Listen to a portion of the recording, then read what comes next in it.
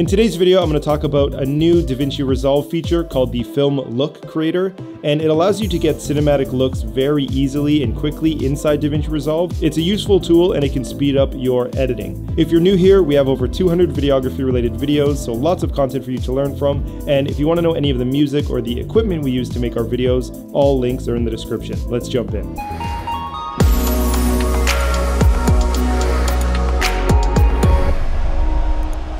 In a recent update, Resolve added the Film Look Creator, which is a very simple effect that you can apply now to clips to get very easy cinematic looks or just changes in general. Whereas before you'd have to go to the color page, and make a lot of changes here. And while you can get very professional pinpoint accurate results here, it sometimes is a bit overkill when you're just looking for a quick way to apply some effects. Maybe you're on a tight deadline or you're working on a project where the budget isn't high and you just need the clip to look good and it doesn't need to be something where you're spending hours color grading.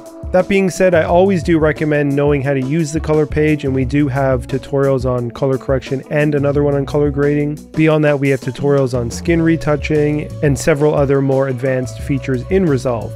But in today's tutorial, we will be focusing on just the edit page.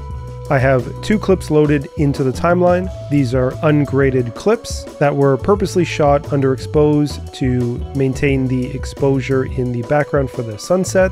The first clip is of Alli, and the second clip is just a locked off shot of the sunset.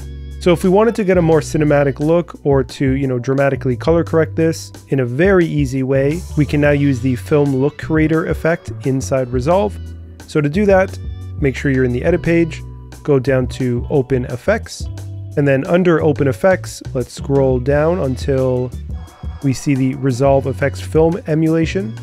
Today we're going to be focused on this film look creator. So let's go ahead and grab it and drag it onto our footage. And then over on the right side, we have, you know, our normal video settings, but then under the effects tab, you'll see we now have the film look creator.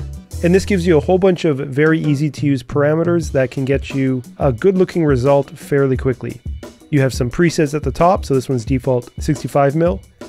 We have 35 mil, cinematic, which adds some black bars bleach bypass, nostalgic. This creates a border and makes it look like it's actually film. And then we can go back to default, a clean slate, or you know, do some custom stuff. But you can also do some custom stuff using one of the presets. So we'll just go back to 65 mil.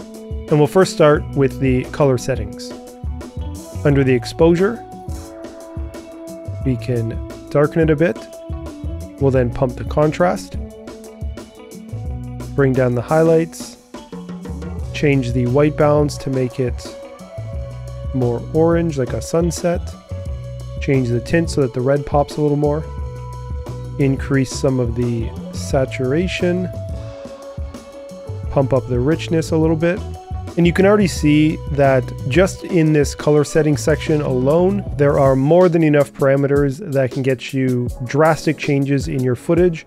And sometimes this is all you need. In this case, this is probably pushed way too far, but for the point of showing like crushed black colors and an exaggerated sunset. But yeah, this is definitely very dramatic.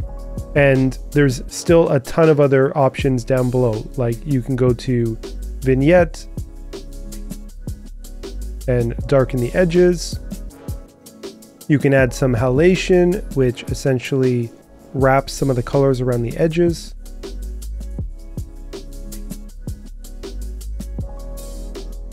We can add some bloom in the highlights.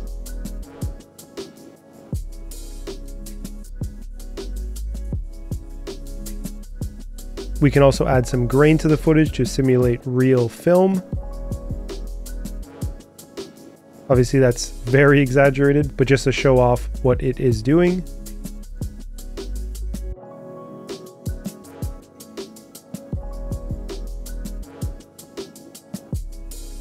If we did want, we could add some flicker.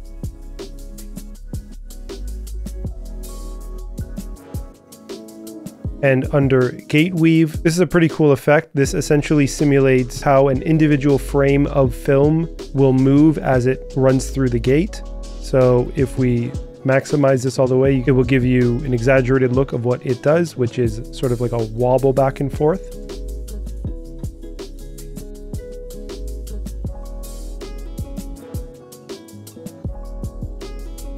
And then of course we can add the film gate, but you can take it a step further and make it, you know, very widescreen. You can increase the padding.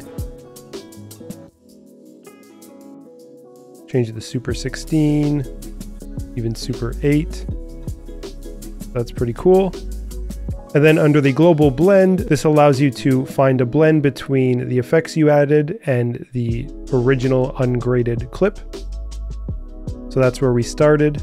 And then if you wanted, you could go all the way to the final or, you know, you may find out that you did the effects too heavy and that's where you want it around 60%. But just in a few minutes, we've created like a replica sort of very dramatic cinematic film look. And I think it looks pretty good.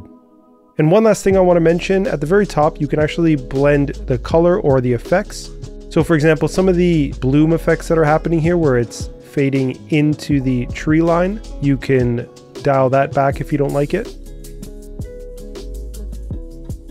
Or if you want to keep the effects but just have less color, you can roll that back as well.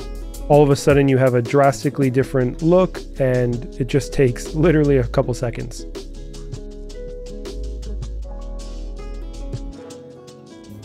And that's how you can get cinematic looks fast in DaVinci Resolve using their new Film Look Creator. If you like the video, give it a thumbs up and subscribe for more videos like that in the future. We have over 200 videography related videos, so lots of content for you to learn from. And if you want to know any of the music or the equipment we use to make our videos, I've left all links in the description. Thanks so much for watching, and we'll see you next time.